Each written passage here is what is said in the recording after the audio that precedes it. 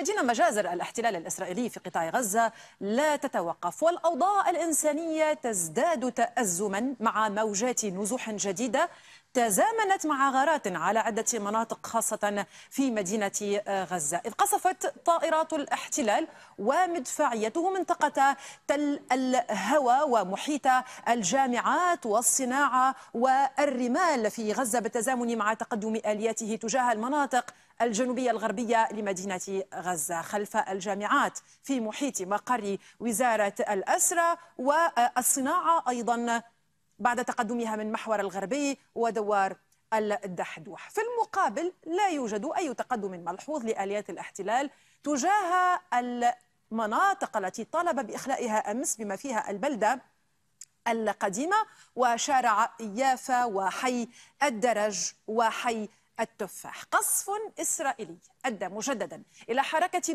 نزوح كبيرة في محيط منطقة الصناعة بل أن عشرات العائلات لا تعرف وجهتها وما تزال إما محاصرة وإما في الشوارع من دون ماء ولا سيما في حي الصبرة وأيضا تل الهواء. تطورات تتزامن مع تواصل اجتياح الاحتلال لحي الشجاعية شرق مدينة غزة منذ ما يقارب أسبوعين وخروج كل المستشفيات في مدينة غزة عن الخدمة بعد تهديدات الاحتلال.